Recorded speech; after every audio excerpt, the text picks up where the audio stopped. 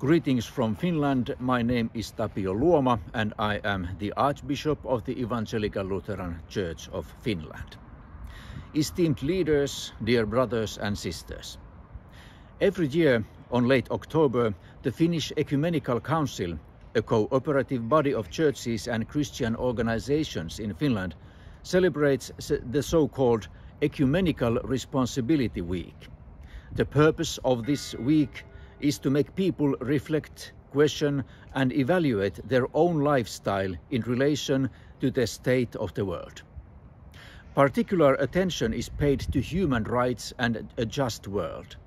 This year, the Finnish Ecumenical Council decided to show its support for the United Nations target program Agenda 2030, which strives to achieve the United Nations goals for a sustainable future on an individual and societal level.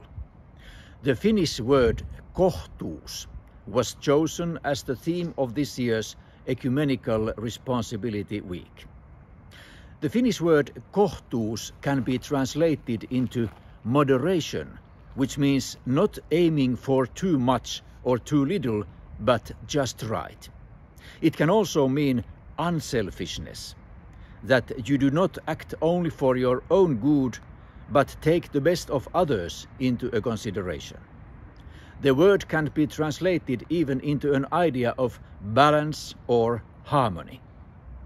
I believe that today's people and societies should relearn a way of life that boils down to those key words moderation, unselfishness, and balance. We should not hoard things for ourselves nor spend more than we need. As religious leaders, our task is to first embrace this ourselves and practice it in our own communities.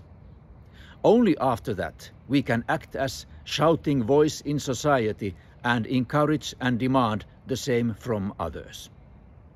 The Evangelical Lutheran Church of Finland has set itself the goal of being carbon neutral in 2030.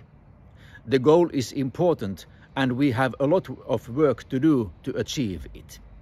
The church has a lot of buildings, about 8,000, and also a lot of forests, over 160,000 hectares.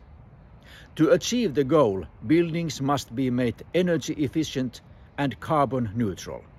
Forests must be protected and managed so that they act as carbon sinks and are diverse. In addition, we should favor a vegetarian diet. The real change requires both. It needs concrete goals and actions from churches and other religious communities, from companies, cities and states. But it also requires a change of heart. We need moderation, unselfishness and balance, or kohtuus as we say in Finnish. Let us pray.